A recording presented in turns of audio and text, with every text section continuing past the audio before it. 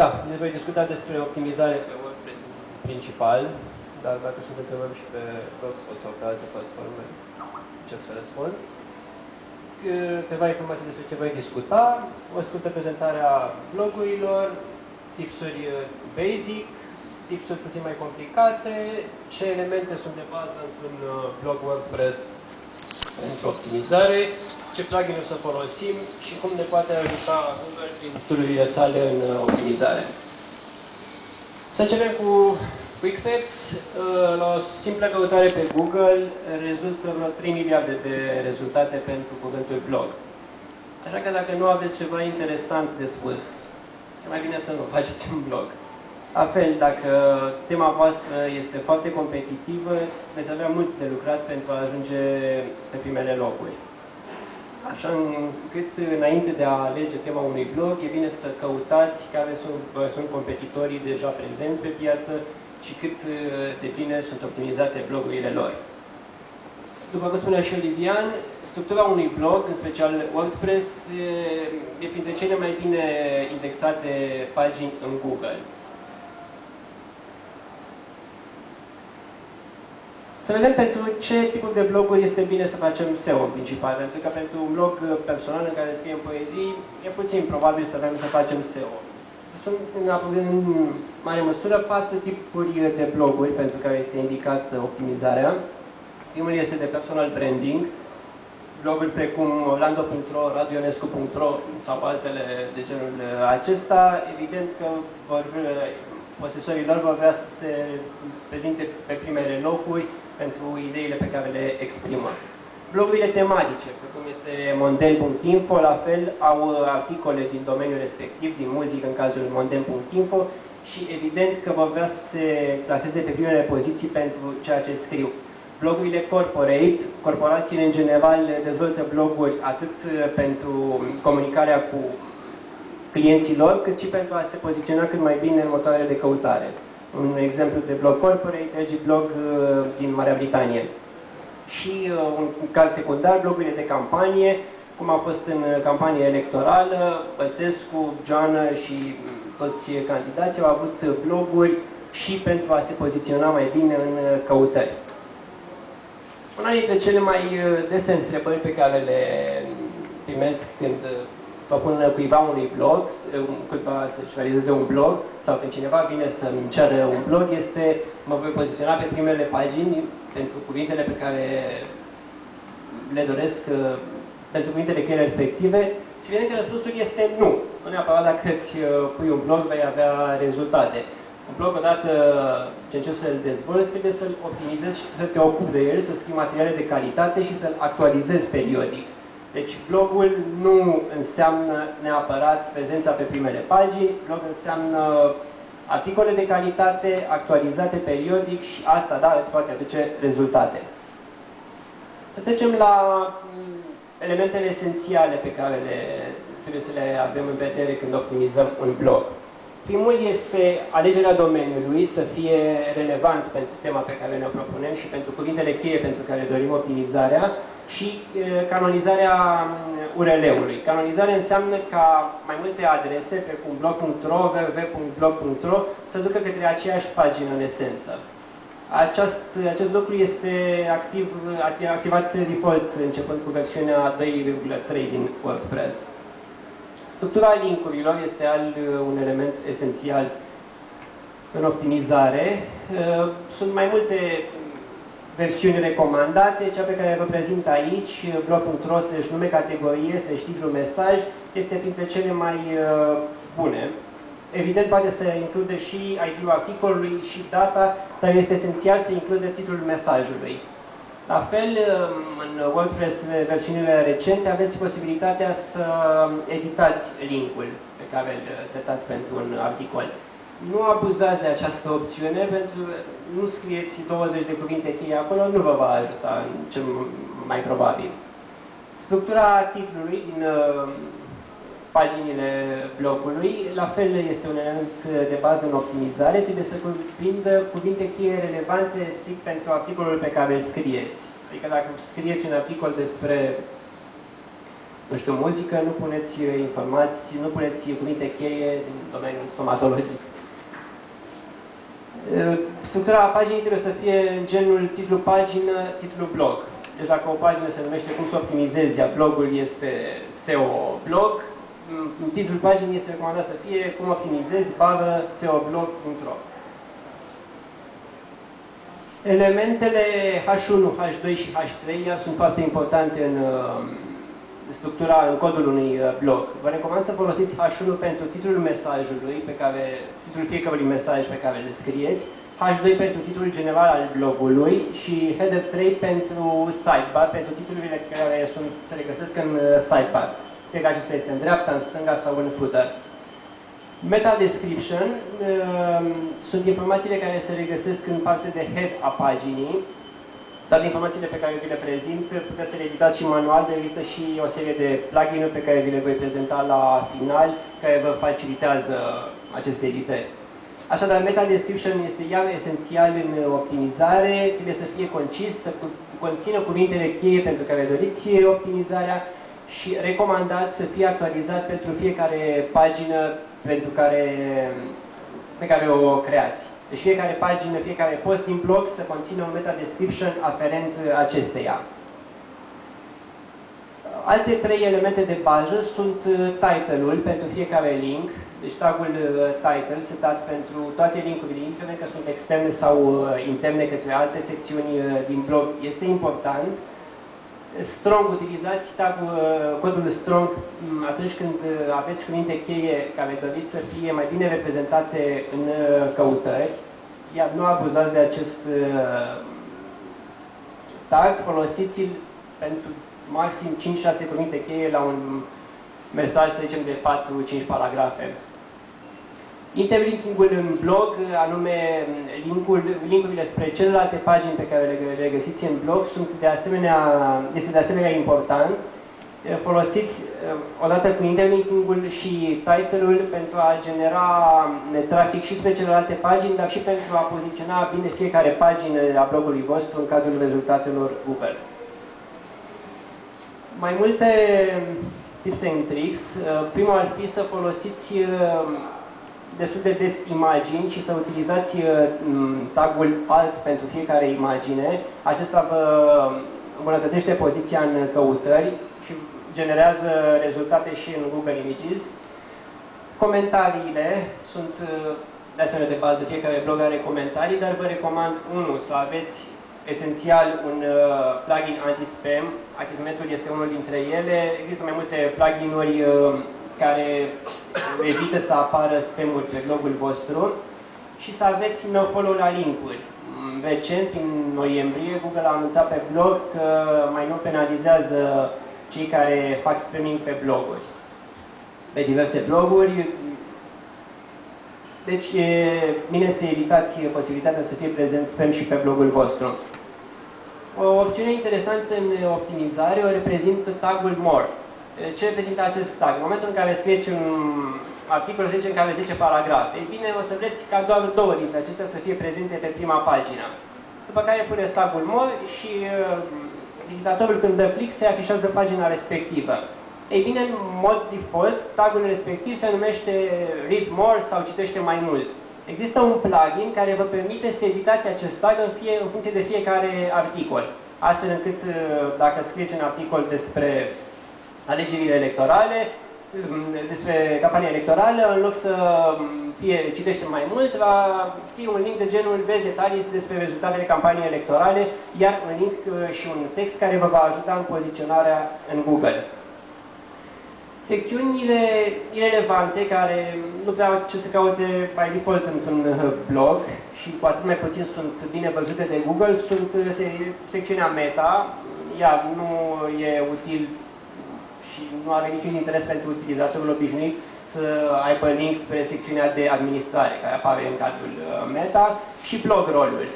Dacă vreți blog roll, creați o pagină specială în cadrul căreia să puneți link-uri spre site-urile prietenilor voștri sau spre site-urile care vă interesează, dar mare, este recomandat să renunțați la secțiunea de bază blog roll din blog, din sidebar, pentru că nu ajută foarte mult. Arhiva este um, util să setați în fișierul robots.txt ca aceasta să nu fie indexată de Google. Pentru că dacă va fi indexată, va apărea conținut duplicat, atât articolele de bază, cât și articolele care sunt prezente în arhivă. Sitemap-ul este un fișier XML generat automat de anumite tooluri dezvoltate pentru WordPress și va ajuta atât în poziționare și în indexarea periodică a blogului vostru, cât și în paginarea în cadrul rezultatelor. Anume, probabil că ați observat, pentru anumite site-uri, când căutați numele lor, va apare titlul site-ului și de sub 4-5 secțiuni relevante din site-ul respectiv. În funcție de cum dezvoltați sitemap-ul și de ce accent puneți pe, se, pe secțiunile de bază ale blogului, este posibil ca și blogul vostru să fie prezentat în Google cu secțiunile respective sub uh, titlul blogului. Evitați pe cât posibil uh, temele sponsorizate. Olivian uh, discuta despre posibilitatea de a găsi templates pe Google. Sunt templates uh, dezvoltate de utilizatori care includ un simplu link pe site-ul acestora, dar sunt și de templates dezvoltate de oameni în care sunt incluse 3, 2, 3, 4 linkuri spre site-ul de hosting, spre site-ul de casino, dezvoltate de acești oameni pentru a lua bani pentru linkurile respective, linkuri care vă vor dezavantaja în poziționarea în uh, Google. Deci, pe cât posibil, în momentul în care căutați un uh, template, fie găsiți unul care să aibă maxim un link spre pagina celui care l-a dezvoltat, fie ștergeți linkurile respective, deși nu e foarte indicat. În momentul în care scrieți un post, este bine să, să încadrați uh, respectivul mesaj în două, trei categorii de bază și pentru mai multe, pentru o tematică mai uh, variată, să folosiți tagurile în uh, cadrul în, momentul în care adăugați postul, veți avea două opțiuni. Categorie în partea dreaptă, din câte știu, și, de fapt, nu, tot în centrul este posibilitatea de a adăuga categorie și tagurile tot uh, central, um, pe care, repet, puteți, le puteți adăuga până la 5-6 taguri spre descriere de categorii, la care e bine să vă limitați la maxim 3 categorii. Au, extern, au mutat tagurile și categoriile în dreapta, nu mai sunt centrate. În termen. În admin, tu asta spui? Da, da. Sunt în partea dreaptă acum. Da? Ah. da. Okay. Știu că la tot. Ok.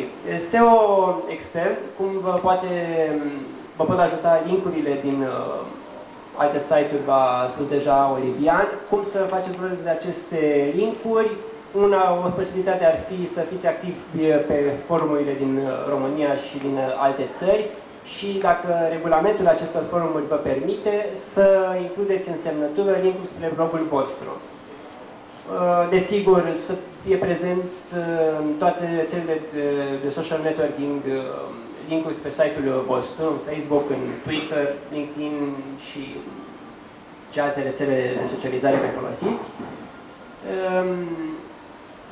Um, comentariile pe alte bloguri, dacă aceste bloguri permit, uh, dacă aceste bloguri au do follow la linkurile din comentarii, eu tocmai vă recomanda să nu aveți do follow pentru comentariile din uh, blogul vostru, dar dacă alte bloguri permit, profitați de acest lucru, dar nu în modul de a spama, ci de a scrie comentarii relevante pentru ce s-a scris. Aici aveți chiar un uh, link spre comunicatul de pe, de pe blogul Google, în care se menționează că vor bana site-urile, îi vor bana pe cei care fac spam uh, pe bloguri. Desigur, o opțiune reprezintă și linkurile sponsorizate. Linkuri sponsorizate fie plătiți, fie că aveți prieteni pe site-uri uh, relevante pentru clientele voastre cheie, vor fi foarte utile în optimizare. Pentru bloguri, pentru optimizare și în general pentru utilizatori este recomandat să aveți o serie de secțiuni. Între acestea, abonarea la mesaje prin FeedBurner, fie că mesajele respectiv abonarea se face prin uh, feed fie prin e-mail, este bine să aveți ambele opțiuni, recomandări de social networking, um, anume adăugarea probabil ați observat, adaugă acest uh, link pe Dig, adaugă acest uh, link pe Facebook și altele. Iar nu, mm, nu exagerați uh, cu social networking-ul, probabil că nimeni nu va adăuga linkul vostru pe Netscape, să spunem, sau pe un alt site obscur. Puneți primele 5-6 rețele sociale de bază și acestea vă vor ajuta în optimizare. Esențial, la fel este Google Analytics pentru a vă monitoriza traficul uh, pe blogul vostru și pentru a verifica rezultatele și cât de performante sunt rezultatele voastre în cadrul uh, căutărilor. Google Analytics uh, are de vreo câteva luni o nouă opțiune, test segment, în cadrul căreia, în căreia puteți seta să vedeți statistici doar pentru cei care au venit din căutări, spre exemplu, din Google și uh, este recomandat să verificați care este data de bounce rate pentru cei care au venit din căutări. De exemplu, dacă sunt oameni care au vizitat doar o pagină sau care au stat 10 secunde pe site-ul vostru, e clar că probabil sunt uh, cuvinte cheie mm, care au fost căutate, dar nu e interesat conținutul de pe site-ul vostru. Boxul de căutare este mm, iar foarte indicat să fie cât mai prezent și atenție, am observat uh, pe numeroase bloguri Întâi este boxul de abonare la e-mail și după aia boxul de căutare. Majoritatea utilizatorilor fac greșeală și caută în boxul de abonare la e-mail. Deci încercați prima dată să puneți cât mai uh, sus și cât mai evident căutarea, pentru că asta interesează în principal pe oameni și abia după aceea dacă vor să se aboneze. Tag Cloud uh, Tag Cloud uh, este iar util, folosiți taguri și inserați, utilizați un plugin care vă permite să afișați cele mai populare taguri folosite în cadrul blogului vostru. Ce tipuri de plugin-uri vă recomand? Uh, All-in-One uh, SEOPEC, practic reunește majoritatea elementelor pe care le-am prezentat eu, de la editarea meta description, meta keywords, la titluri, modul în care sunt realizate linkurile. Google XML Sitemaps, iar foarte util în momentul în care doriți să realizați și să fie actualizat automat sitemap-ul site-ului blogului vostru, spam free pentru a vă proteja de comentarii nedorite, de spam, și uh, Headspace este un plugin special care vă ajută, um, care include opțiuni pe care celelalte nu le includ, cum ar fi posibilitatea de a edita acel uh, read more pentru a avea un uh, citește mai mult personalizat pentru fiecare articol în parte. Page Navi? Um, Page Navi ajută la navigă, um, multipaginare. multipaginarea în uh, cadrul uh, blogului. Aveți linkuri pentru fiecare dintre ele, prezentarea va fi și online, veți, vedeți acolo descrierea fiecărui, fiecărui plugin în parte. Iar nu abuzați de plugin-uri, există um, multe plugin-uri inutile, cum e cel care te duci pe o poză sau pe un link și vezi un review al site-ului respectiv. În general, am observat că majoritatea lumii îl urăște, deci dacă îl aveți pe blog, dezactivați-l, nu vă ajută cu nimic și blochează și unele browsere dacă calculatorul este performant. Google School știe toată lumea. Cum vă ajută strict pe ce înseamnă blog? 1 vă ajută prin Analytics, pe care vă recomand să-l folosiți. Ok, folosiți traffic.ro, statistici.ro, deși nu vă oferă mai mult decât vă poate prezenta Analytics, dar este obligatoriu să folosiți și pe acesta, pentru că oferă o serie de statistici foarte detaliate. În momentul de față, la nivel de serviciu gratuit de contorizare, probabil că doar Yahoo Analytics mai, uh, este mai performant decât acesta, dar Yahoo Analytics nu este disponibil decât pentru cei care folosesc serviciile de publicitate. Deci, rămâneți la Google. Google Webmasters este un tool prin care puteți uh, verifica cât de bine s-a optimizat și uh, indexat site-ul vostru. Vă oferă informații destul de interesante, cum ar fi dacă sitemap-ul vostru conține erori, ce cuvinte cheie au fost căutate în care blogul vostru s-a poziționat pe primele pagini, chiar dacă nu s-a dat click pe el, deci informații pe care nu le găsiți în Analytics sau în alt uh, serviciu de monitorizare, le regăsiți în uh, Webmasters. Și la fel puteți, uh, prin intermediul Google Webmasters, seta ca anumite pagini să nu fie indexate, seta cu ce periodicitate să fie indexate, indexat blogul vostru. Google alt sens, desigur, dacă blogul vostru are un volum de trafic uh, mărit care face, care permite inserarea de reclame astfel încât să generați uh, clicuri și implicit uh, bani din aceste reclame și un tool destul de interesant lansat de, de vreo 3 luni de Google este Google Ad Planner. Practic, Google folosește PageRank-ul pentru a vă oferi informații despre traficul majorității site-urilor din uh, lume. Deci dacă vreți să vă faceți un blog și verificați concurența și vreți să vedeți uh, cam câți vizitatori iau, din ce țări provin, care este timpul mediu de start pe site, folosiți Google Ad Planner și cel mai probabil veți avea informații relevante mm, pentru site-ul respectiv. Câteva resurse suplimentare, în care veți citi și ce v-am spus eu aici, dar și explicații detaliate despre fiecare element în parte.